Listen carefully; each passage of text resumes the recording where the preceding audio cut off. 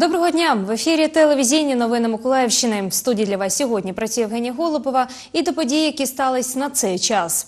В Миколаєві стартував прийом документів для участі у програмі Громадський бюджет. Кожен, хто має ідеї щодо покращення благоустрою міста або вирішення соціально важливих питань, може спробувати отримати фінансову підтримку із міського бюджету на їх реалізацію. Заявки приймаються до 24 травня.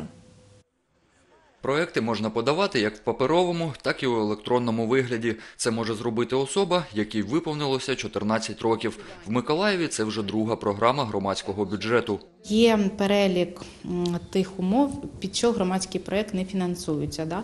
Це, зокрема, це якщо проекти носять комерційний характер, і що проекти вже зазначені в яких цільових програмах е, на наступні два роки. Якщо е, е, планується реалізація проєкт, проєктів на землях або установах, які не належать до комунальної власності.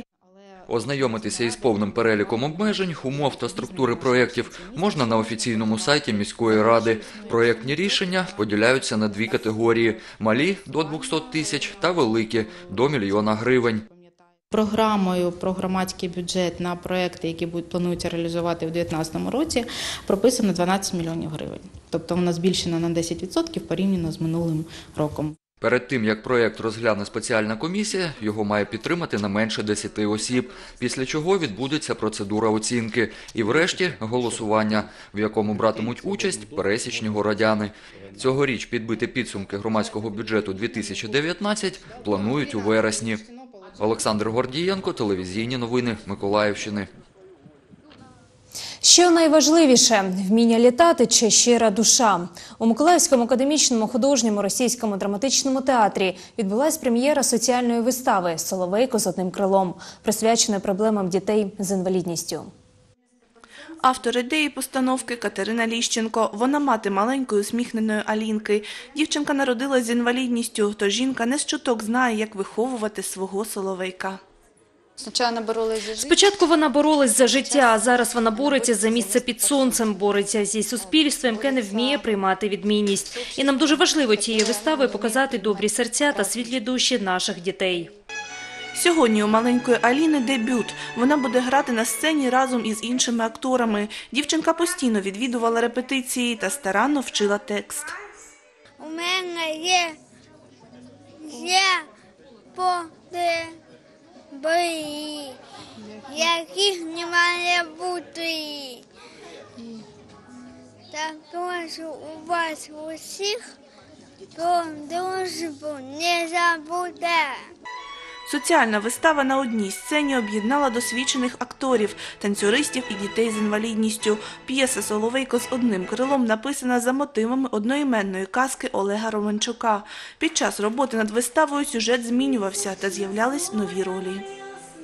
Самой постановке этого спектакля мы У самій постановці цієї вистави весь час розширялися. Чому? Тому що з'являлись нові аспекти, які хотілося додати. З'являлись нові люди, з'являлись нові проблеми. Приходили батьки, яких ну ми наче знаємо, що діти звичайні. Вони до нас у театр ходять, а приходять батьки і кажуть: а ось ви знаєте, у мене також проблеми є, і так хочеться, щоб цю проблему згадали. І я кажу, давайте спробуємо. Вот именно тоже вот упомянули. Я говорю, ну давайте попробуем. Головна мета вистави підкреслити, що люди з інвалідністю такі самі, як усі. Вони гарні друзі, талановиті митці та здібні особистості. Побачити Соловейка з одним крилом стало можливим завдяки підтримці миколаївців. Саме цей проект містяни обрали та реалізували коштом громадського бюджету. Е, Потрохи ми просуваємо всі ці проекти, але е, сподіваємося, що після цієї вистави, після того, як е, все ж таки люди, від яких залежить майбутнє, залежить е, процвітання чи е, нормальний стан нашого міста, зрозуміють і трошки вони зможуть е, допомагати більше. Також підтримка містян відобразилась і у повній глядацькій залі на прем'єрі. Звісно, я раджу. Я ж приїхала, ось прийшла подивитись. Так, дуже цікава розповідь.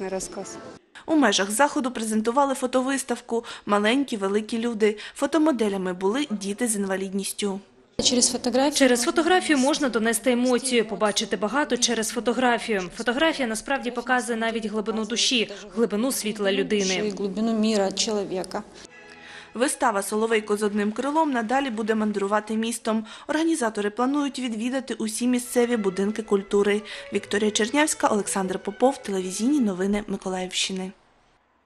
А у Херсоні стартував відкритий чемпіонат України з боулінгу серед спортсменів з вадами слуху. Триватимуть змагання 5 днів. Участь у них візьмуть близько сотні учасників з різних регіонів України. Про те, як захоплива гра перетворилась на професійний спорт, далі.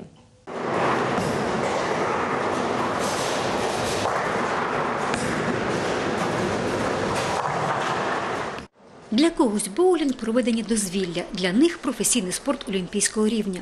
89 спортсменів із різних регіонів України приїхали до Херсона на чемпіонат з боулінгу. Для спортсменів з вадами слуху боулінг е, давно вже є в олімпійській, дефолімпійській програмі, е, чого нема у здорових боулерів, у здорових е, спортсменів. Поэтому, тому що, ну, будемо так говорити, дефолімпійський спорт, е, боулінг в дефолімпійському спорті зародився ще дуже-дуже давно.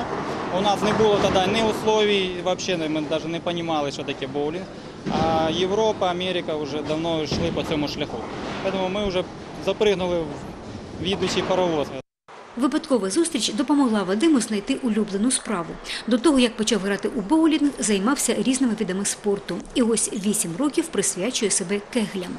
Он занимался разным видом спорта, настольным теннисом, причем довольно серьезно, у него был собственный настольный теннис.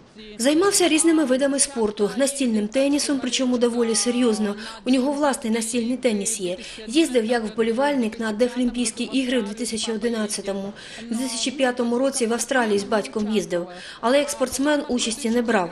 Потім на наступних іграх у Тайвані він не думав щодо боулінгу, щоб серйозно ним займатися. Але познайомився з однією дівчиною, яка займалася боулінгом, і один знайомий чоловік, який був організатором, запропонував їм поїздку у Полтаву на чемпіонат України. Тоді посів останнє місце. Однак, попри це, почав серйозно займатися боулінгом. Знайшов тренера, займався і досі займається уже 8 років. І участвую. уже 8 лет. Зараз проводяться командні змагання, та для кожного учасника це можливість показати себе, розповідає головний суддя Віктор Дикін. Під час гри оцінюють не лише фізичну підготовку спортсмена, а й його вміння мислити, швидко приймати рішення. Важлива оцінка це інтелектуальність ігрока, будемо говорити. Ну, фізична, фізична підготовка теж важлива.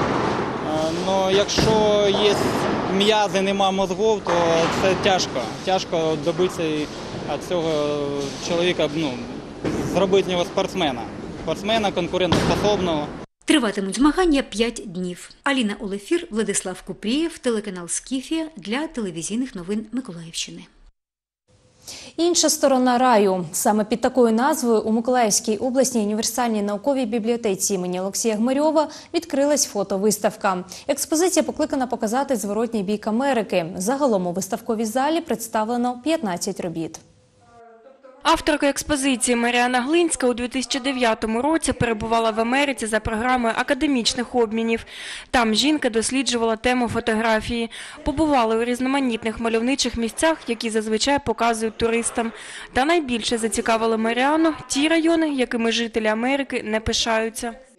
Зазвичай про США думають те, що це благополучна країна, що це країна мрій, країна Голлівуду, зірок. Е, А вона нам показала один е, з неблагополучних районів Філадельфії, куди вона вирушила з е, своїм другом афроамериканцем. І вони подорожували там, е, їм не рекомендували туди йти. Вони фотографували людей і не тільки людей, фотографували їхні оселі.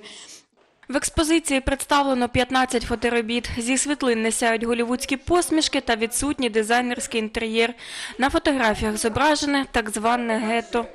Понравилось, она передает Сподобалась. Саме ця виставка вона передає нюанси, стан людей в даний момент, настрій, десь в цілому депресивний характер районів, де робились ці світлини. Євгенію Лаврову фотовиставка розчулила. Каже, фотороботи їй нагадують деякі райони нашого міста. Интересно, мне понравилось. Цікаво, мені сподобалось. Цей бік Америки в нас по телевізору мало показують, але мені це до болі нагадує наше життя, наші дороги. Ось ці наші обшарпані будинки. Але тут, звісно, я так розумію, провина нас самих. Самої авторки фотографій на відкритті виставки не було. Зараз Маріанна Глинська проживає на Західній Україні. Там веде активне громадське життя. А її роботи експонуватимуться у Миколаївській обласній універсальній науковій бібліотеці імені Олексія Гмирьова до 26 квітня. Потім виставка попрямує до Рівного. Наталя Забазнова, Олександр Попов, телевізійні новини Миколаївщини. І поки що це все. Наступний випуск ТНМ вже о 17.00, а я прощаюсь з вами, бажаю вам гарного настрою та вдалого дня.